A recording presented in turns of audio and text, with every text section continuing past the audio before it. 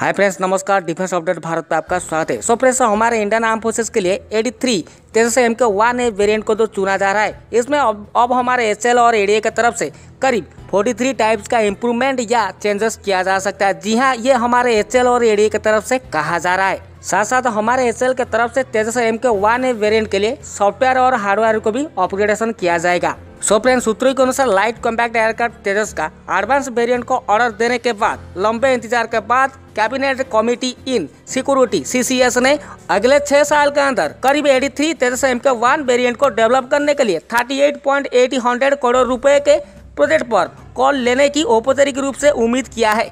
2026-27 तक ये 83 Tejas M K one A variant के 83 यूनिट को 43 टाइप चेंजेस इम्प्रूवमेंट करके ये नया रूप दिया जा सकता है। और ये जो इम्प्रूवमेंट किया जाएगा, ये ज़्यादातर पर सॉफ्टवेयर और हार्डवेयर पर किया जा सकता है।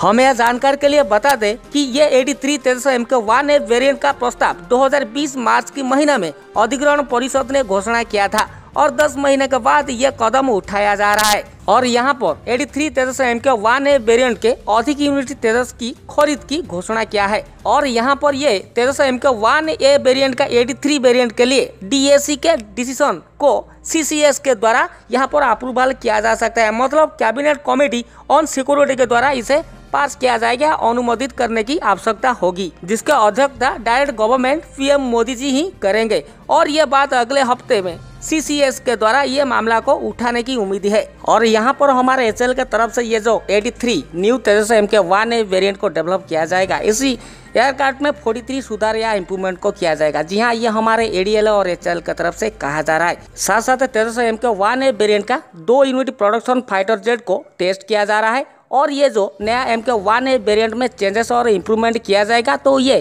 special Tejas M K one A variant aircraft के। इनहेंस ऑपरेशनल कैपेबिलिटीज को बढ़ाया जाएगा। मतलब Tejas M K one A variant के।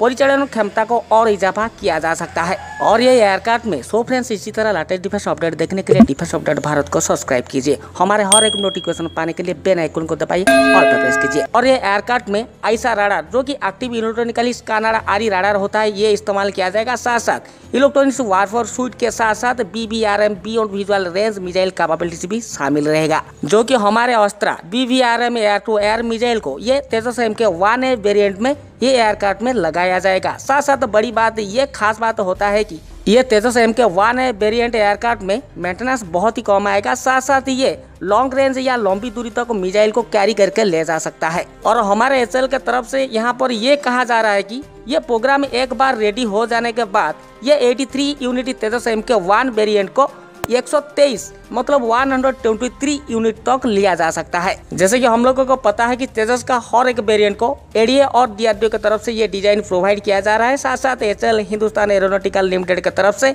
इसे मैन्युफैक्चर किया जा रहा है। और यहाँ पर हमारे इंडियन आर्म फोर्सेज की ज़रूरत को देखते हुए यहाँ पर हमारे एच की तरफ़ से यह कहा गया है की 2026-27 तक करीब 83 Tejas M K one A variant को रेडी कर दिया जाएगा। फिर ये 43 नया चेंजेस के साथ। जी हाँ साथ साथ ये एयरक्राफ्ट में कुछ सॉफ्टवेयर और हार्डवेयर को भी अपग्रेडेशन किया जा सकता है। सो फ्रेंड्स ये था टॉपिक आशा करता हूँ टॉपिक आपको ज़रूर अच्छा लगा कपड़ा हम सब। दीजिए डिफेंस अपडेट भारत को ज़रूर सब्सक्राइब कीजिए। जय हिंद, जय भारत।